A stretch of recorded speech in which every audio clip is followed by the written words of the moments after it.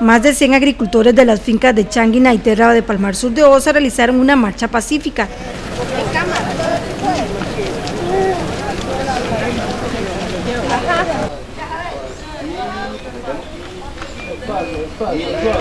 Salió del Parque Las Alferas de Palmar Sur pasando por el Puente Grande del Río Terraba y terminando frente a las instalaciones del Banco Nacional de Palmar Norte. Según los manifestantes, se les comunicó un nuevo desalojo para los próximos meses, donde es ahora el Banco Nacional, quien podría estar dando a la orden de desalojo para junio próximo.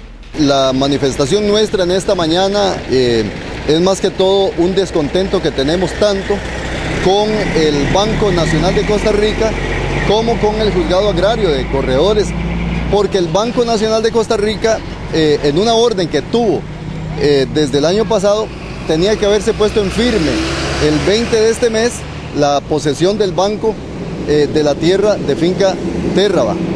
Pero el Banco Nacional de Costa Rica, a sabiendas, a sabiendas de que por 15 años estamos en esta tierra, que por más de 15 años estamos acá en la tierra, en la finca, manda una solicitud de postergar eh, la puesta en firme del banco al juzgado de corredores para el 23 del próximo mes de junio.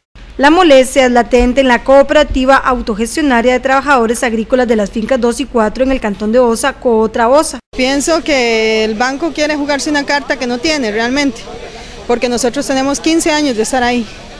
Entonces, si el banco quiere sacarnos, va a tener que luchar, ¿verdad?, contra nosotros, porque así muy fácil no se la vamos a dejar una manifestación completamente pacífica el día de hoy en Palmar. Pacífica completamente. Nosotros siempre hemos hecho manifestaciones pacíficas, nada más que siempre se han hecho injusticias en, contra de nuestros campesinos. ¿Cuántos campesinos más o menos están marchando el día de hoy? Más o menos somos como 100, ciento y un poquito.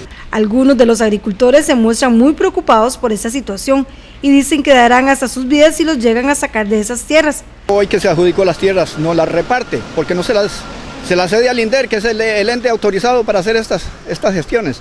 No. Hoy dice que le desocupen la finca. Ya le habló a, las instituciones que tienen que ver en los desalojos y ahí está. Eh, por eso nos estamos manifestando hoy, una, una manifestación, manifestación, pacífica. No queremos que nos atropellen ni atropellar a nadie, pero sí hacernos saber que estamos y existimos en esta finca y vamos a luchar, quizás hasta con la vida de algunos. La fuerza pública mantuvo el orden durante la manifestación. Además, el paso sobre el puente Terraba se mantuvo regulado por más de una hora. Cabe indicar que no se descartan más manifestaciones durante estos días o meses si se continúa con la orden de desalojar a esas familias de esas tierras.